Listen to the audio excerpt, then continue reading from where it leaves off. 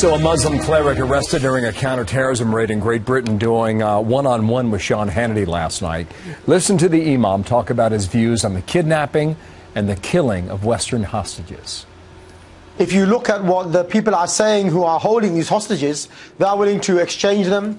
They are talking about the fact that there's no stability and security in Muslim countries because of the US and British foreign policy. So I think if you look at the whole picture, you will find, in fact, there's, a, there's another story. And until we hear that story, I'm afraid well, we, we cannot heard, make an One guy was an aid assessment. worker that went to Syria to help innocent children. I hardly think he was a guy that deserved to have his head chopped off because you believe in a caliphate.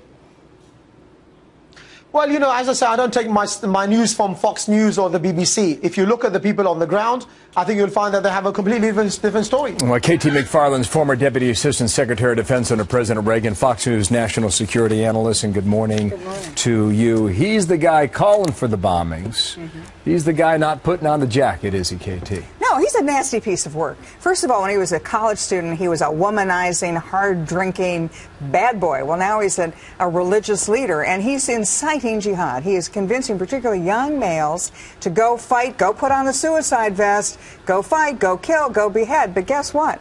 He's not putting on any suicide vest. He's holding their coats while they do it. So he is inciting others to do things he would never do himself. That interview came from London last night. It aired here on the Fox News channel with Sean Hannity, as I mentioned.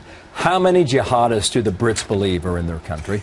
Talked to the head of MI5 a couple of years ago, and he said they feel that there are roughly 2,000 at any given time who are radicalized. They could go operational at any moment. In other words, at any moment they could participate in some kind of a terrorist attack. And they watch all 2,000 of them. I've got to assume that since ISIS has been recruiting in Britain, they've gone from Britain, they've gone to fight in Syria and Iraq, gone back to Britain, that that number is. And this is something that Dave Cameron, the, the prime minister, is very worried about. The other thing the imam told Hannity, there's nothing called suicide in Islam. There's using your body in the battle against the enemy.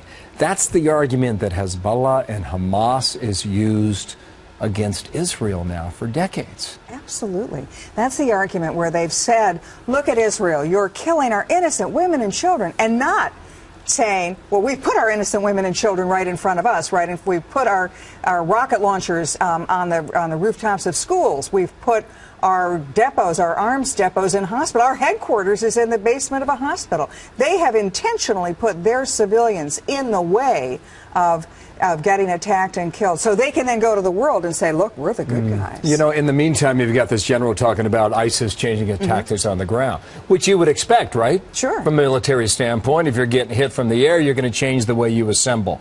The question I think is a very important, KT, mm -hmm. is understanding the distinction of this whole coalition that's supporting what's happening in Syria. You have four or five countries doing that. Right. And those who are supporting action in Iraq which has suddenly become the good war again.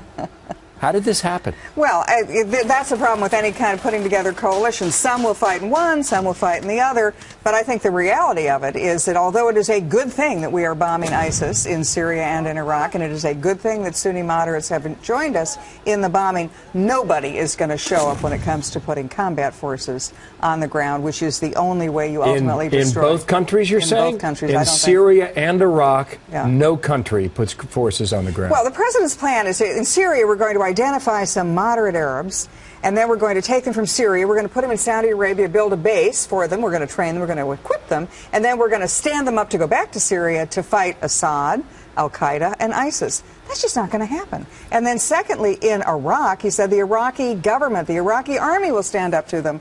When even the chairman of the Joint Chiefs of Staff has said they're only 50% combat ready. And when ISIS confronted them, they dropped their weapons, took off their uniforms, and ran. You know, the point I think, that, the reason I think you have to drive this point home is that the White House will always talk about the coalition.